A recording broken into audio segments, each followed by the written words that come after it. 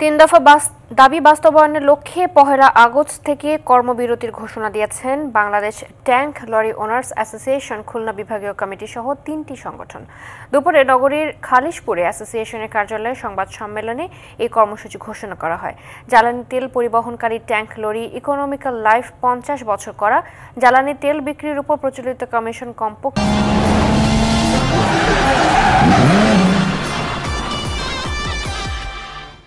লক্ষ্যে সাড়ে সাত পার্সেন্ট করা সহ অন্যান্য দাবি পেশ করা হয়। দাবি বাস্তবায়ন না হলে পহেলা আগস্ট থেকে অনির্দিষ্টকালে কর্মবিরতি ঘোষণা দেওয়া হয়েছে।